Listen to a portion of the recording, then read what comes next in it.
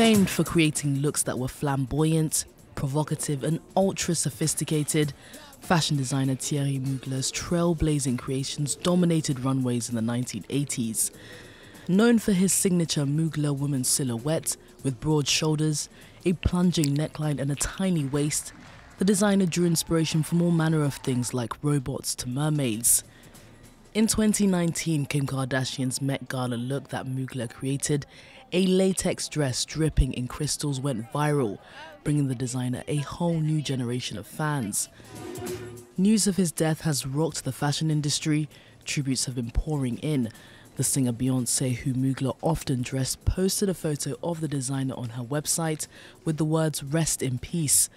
Diana Ross also paid homage to Mugler, tweeting, I will miss you. This was a wonderful time in our lives. With the launch of his first fragrance, Angel, the designer rose to perfume success.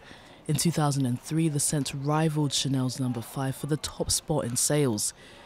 The year before Mugler retired from fashion, he was always a director at heart and continued to work on spectacles.